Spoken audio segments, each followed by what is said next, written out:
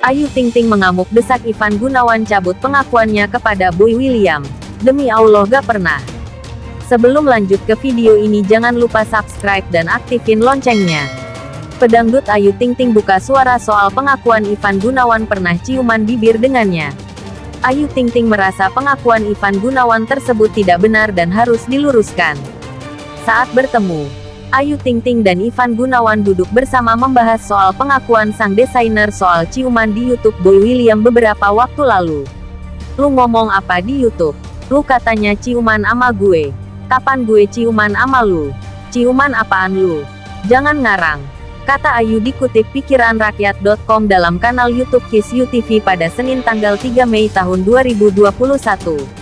Sontak Ivan Gunawan berteriak membalas ocehan Ayu Ting Ting di depan wajahnya. Ciuman bibir. Ucap Ivan berteriak.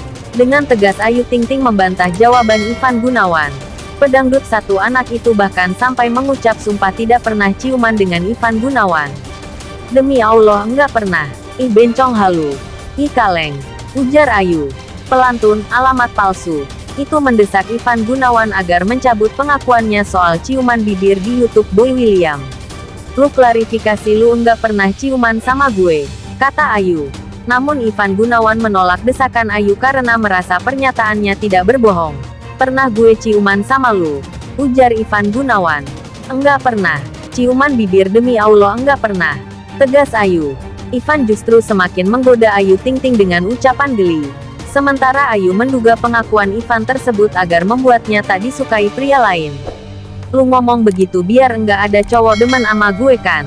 Enggak pernah gue ciuman sama lu. Narang lu. Tutur Ayu menegaskan. Sebelumnya, Ivan Gunawan membuat pengakuan bahwa ia pernah naksir pada Ayu Ting Ting.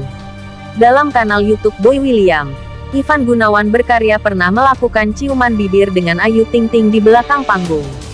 Gimana nih sahabat menurut kalian? Jangan lupa untuk tinggalkan komentar di kolom komentar.